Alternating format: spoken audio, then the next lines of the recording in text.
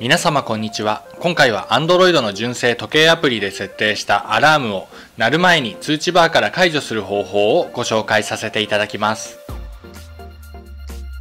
Android の時計アプリには日時表示機能の他にストップウォッチやアラーム機能も搭載されていることはご存知かと思います。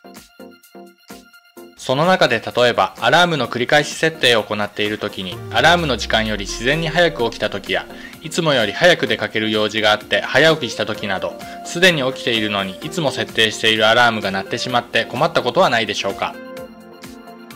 こういった場合にアラームが鳴ってから止めるかもしくはアラームの設定自体を解除するといった手法を取る方も多いかと思います。しかし時計アプリのアラームは通知バーから鳴る前に解除することが可能です。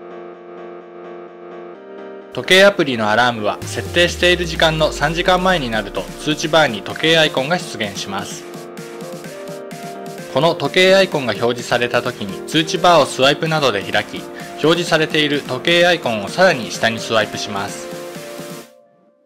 すると解除メニューが表示されるのでタッチすれば解除完了です。この解除は一時的なもので繰り返し設定を行っている場合は次の日以降のアラームが維持されたままとなります。これまでいちいち時計アプリを起動してアラームタブから解除を行っていた方などぜひ参考にしてみてください以上 Android の純正時計アプリで設定したアラームを鳴る前に通知バーから解除する方法のご紹介でした。